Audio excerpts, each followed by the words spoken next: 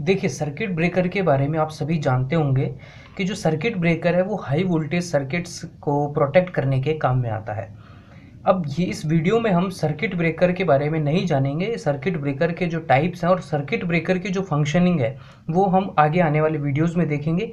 इस वीडियो में हम देखेंगे कि सर्किट ब्रेकर जब ओपन होता है, जब वो काम करना स्टार्ट करता है तो उस टाइम पर उसके अंदर एक आर्क डेवलप होती है। तो उस आर्क का क्या फिनोमिना होता है? वो आर्क कैसे डेवलप होती है? क्या उसका कारण होता है? और उस आर्क को कैसे ख़त्म किया जाता है? ये सारा जो फंक्शनिंग है, वो हम इस वीडियो में देखेंगे। तो इस वीडियो को आप आखिरी तक ज़रूर देखिएगा। क्योंकि अगर सर्किट ब्रेकर में ये वाला वीडियो अगर आपको समझ में नहीं आया तो आपको जो पूरी प्लेलिस्ट में बनाऊँगा सर्किट ब्रेकर की तो उसमें आगे आने वाले वीडियोज़ में आपको प्रॉब्लम हो सकती है। तो ये वाला वीडियो आपको ज़रूर पूरा देखना है और अच्छे से समझना है। इसके अंदर प्रैक्टिकल चीज़ें ज़्यादा है नहीं, इसके अंदर मतलब थ्योरेटिकल बात है तो आपको मैं ज़्यादा लिख करके नहीं बताऊँगा। ओरली आपको ज़्यादा समझाऊँगा तो आपको बहुत अच्छे से बातों को सुनना है, ठीक है? तो देखिए सर्किट ब्रेकर किसी भी पावर सिस्टम के अंदर बहुत ही काम का इंस्ट्रूमेंट है प्रोटेक्टिंग इंस्ट्रूमेंट है। तो जब भी हम सर्किट ब्रेकर को लगाते हैं, मान लीजिए ये पावर सिस्टम हमारा कोई पावर सिस्टम का कुछ इक्विपमेंट हो गया उससे पहले हम यहाँ पर सर्किट ब्रेकर लगा देते हैं। सर्किट ब्रेकर से पहले रिले भी लगता है। रिले क्या करता है? रिले सेंस करता है फॉल्टी फॉल्टी सिचुएशंस को और वो सर्किट ब्रेकर को आ, बताता है कि आपको सर्किट ट्रिप करना है। ठीक है? और सर्किट ब्रेकर उसके बाद सर्किट को ट्रिप कर देता है। तो किसी भी पावर सिस्टम को बचाने के लिए हमको पहले सर्किट ब्रेकर लगाना होता है। हम फ्यूज़ या स्विच भी लगा सकते हैं लेकिन हाई वोल्टेज सर्किट्स की बात करते हैं तो सर्किट ब्रेकर लगाते हैं। अब सर्किट ब्रेकर के अंदर जैसे ही आ, कोई फॉल्टी सिचुएशन होती है जा, जा जैसे यहाँ पर कोई फॉल्टी करंट आता है शॉर्ट सर्किट या ओवरलोड की वजह से कोई फॉल्टी करंट आता है तो उसका जो जॉइंट है मान लीजिए ये उसका जॉइंट है तो ये जो जॉइंट है ये कुछ इस तरीके से हट जाता है। ये कुछ इस तरीके से हो जाता है इसके बाद में। तो यहाँ पर एक आर्क डेवलप हो जाती है। जब ये सर्किट यहाँ पर हटता है तो यहाँ पर एक आर्क डेवलप हो जाती है। अब वो आर्क कैसे डेवलप होती है, यही हमको इस वीडियो में समझना है। तो देखिए, मान लीजिए कोई सर, कोई इलेक्ट्रोड मैंने यहाँ पर बना दी। अब ये इलेक्ट्रोड्स पहले जॉइंट है, ऐसे जॉइंट है, और अब मैंने इनको हटा दिया। तो अब क्या होगा कि मान लीजिए कोई शॉर्ट सर्किट करंट यहाँ पर आ गया। कोई फॉल्टी करंट आ गया, बहुत ज़्यादा एम्पियर्स में वो करंट आ गया तो पहले वो गुजरेगा सर्किट ब्रेकर से पावर सिस्टम को हमको बचाना है तो इसलिए पहले वो सर्किट ब्रेकर से गुजरेगा। अब सर्किट ब्रेकर के अंदर हमने जो मूविंग इलेक्ट्रोड लगा रखी है फिक्स्ड इलेक्ट्रोड भी होती है मूविंग इलेक्ट्रोड भी होती है, वो हम आगे आने आगे आने वाले वीडियोज़ में देख लेंगे। तो ये जो मूविंग इलेक्ट्रोड है, इसके अंदर क्या होगा कि जैसे ही फॉल्टी सिचुएशन हुई तो ये क्या करेगा? दूर होना स्टार्ट कर देगा। अब जैसे मान लीजिए यहाँ पर है तो ये पहले दूर होना स्टार्ट करेगा। तो जैसे ही ये करीब होगा, मान लीजिए यहाँ पर है और यहाँ पर है। अब ये कांटेक्ट जैसे ही हल्का सा दूर हुआ तो यहाँ पर क्या होगा? पहले करंट को पूरा पाथ मिल रहा था जाने के लिए।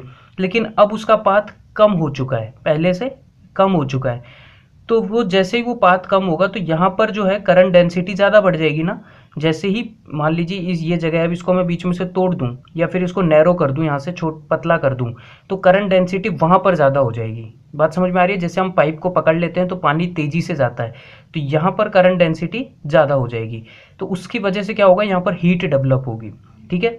देखिए, सबसे पहले क्या होगा कि शॉर्ट सर्किट करंट आया, उसके बाद क्या हुआ? करंट डेंसिटी बढ़ गई, ठीक है? उसके बाद क्या हुआ?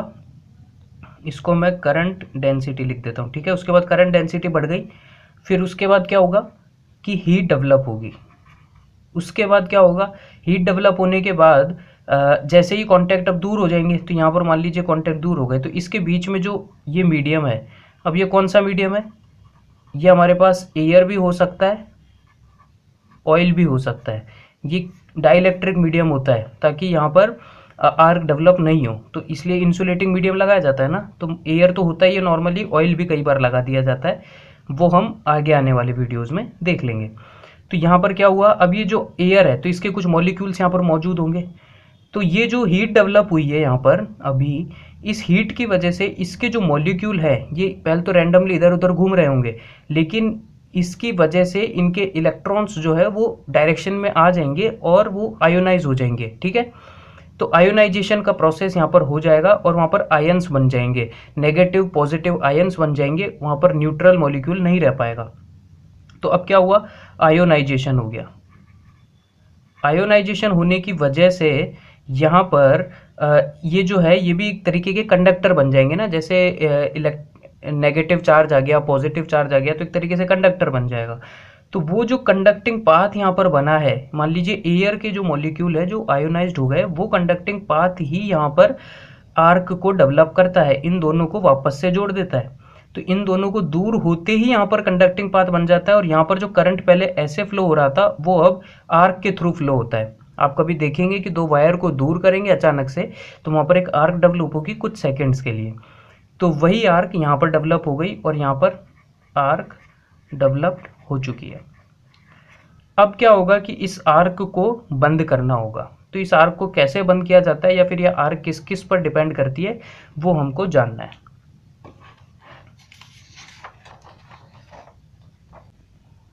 तो हम देख सकते हैं कि due to any faulty condition heavy current flows through the circuit breaker contacts ठीक है?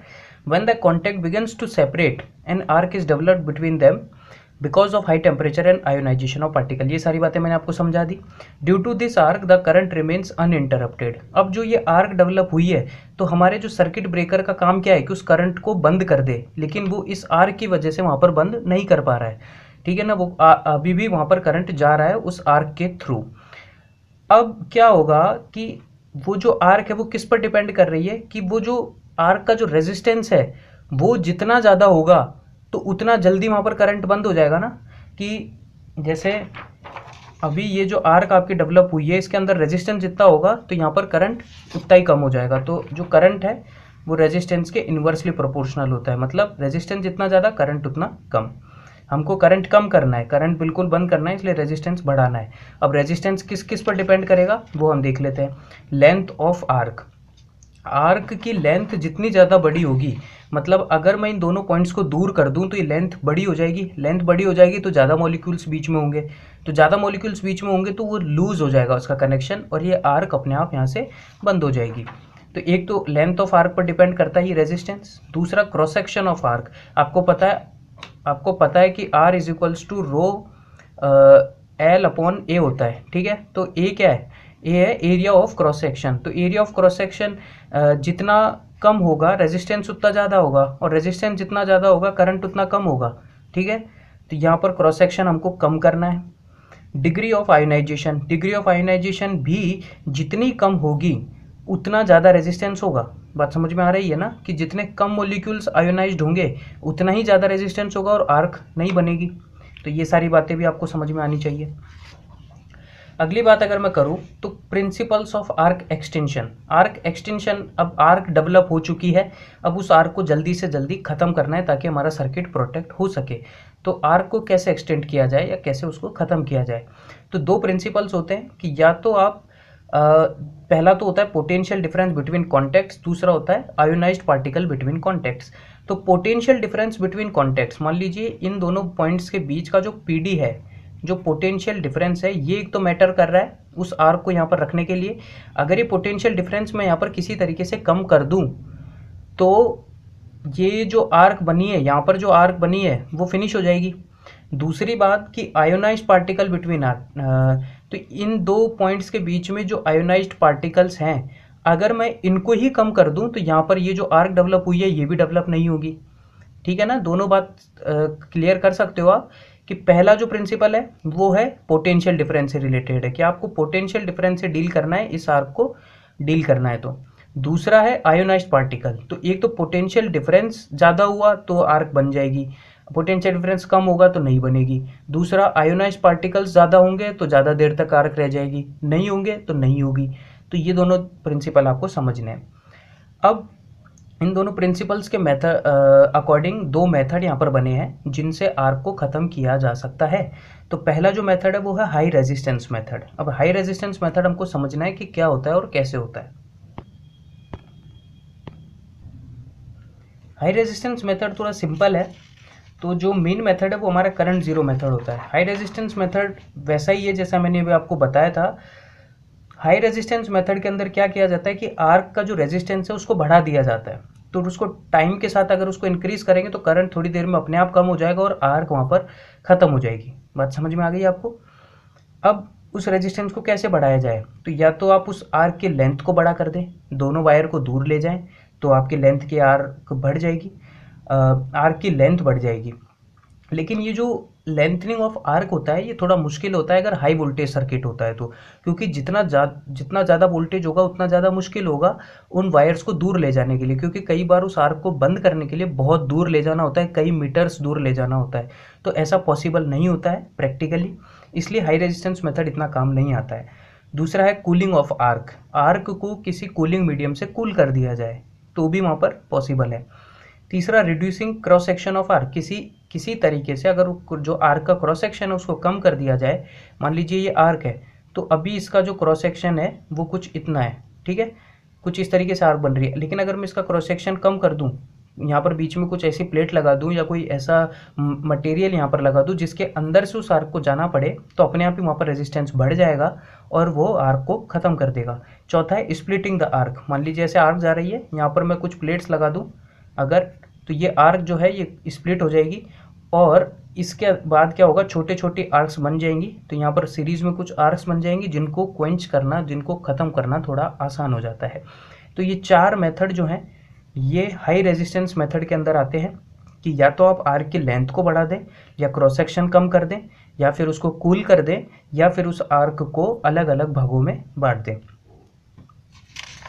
दूसरा मेथड होता है लो रेजिस्टेंस मेथड या फिर करंट ज़ीरो मेथड ये वाला जो मेथड है, ये सिर्फ़ और सिर्फ़ एसी सर्किट्स के लिए काम में आता है, क्योंकि आपको एक चीज़ पता होनी चाहिए कि एसी सर्किट के अंदर जो वेवफॉर्म चलती है, वो कुछ इस तरीके से चलती है। तो करंट अपने आप, ये जो मान लीजिए फॉल्टी करंट है तो अपने आप एक बार तो ज़ीरो पर आता ही आता है। डीसी सर्किट में क्या होता है? ये करंट ऐसे चलता है। तो इसके अंदर ज़ीरो पर लाना मुश्किल है, इसीलिए हाई रेजिस्टेंस मेथड यूज़ किया जाता है। लेकिन जो हमारा ईसी सर्किट है, उसके अंदर लो रेजिस्टेंस मेथड इसलिए यूज़ किया जाता है, या फिर करंट ज़ीरो मेथड भी इसको इसलिए बोला जाता है कि करंट अपने आप एक बार ज़ीरो पर ज़रूर आएगा तो उस, वहीं पर उसको अगर फिनिश कर दिया जाए तो आपका आगे वाला प्रोसेस तो वैसे ही ख़त्म हो जाएगा और आर्क ख़त्म हो जाएगी। तो इस मेथड को हम समझते हैं कि ये मेथड कैसे काम करता है। इस मेथड को समझने से पहले मैं आपको कुछ इंपॉर्टेंट टर्म्स बता देता हूँ, जो कि आपके लिए ज़्यादा काम की चीज़ है। तो पहले ही मैं आपको बताता हूँ आर्क वोल्टेज क्या होता है। देखिए, जिस समय आर्क आपकी डेवलप हो चुकी है तो उस समय जो दोनों तरफ़ जो पोटेंशियल डिफरेंस है, जो वो वोल्टेज वहाँ पर बना हुआ है, जिसकी वजह से जो आर्क चल रही है, उसी को आर्क वोल्टेज बोल दिया जाता है।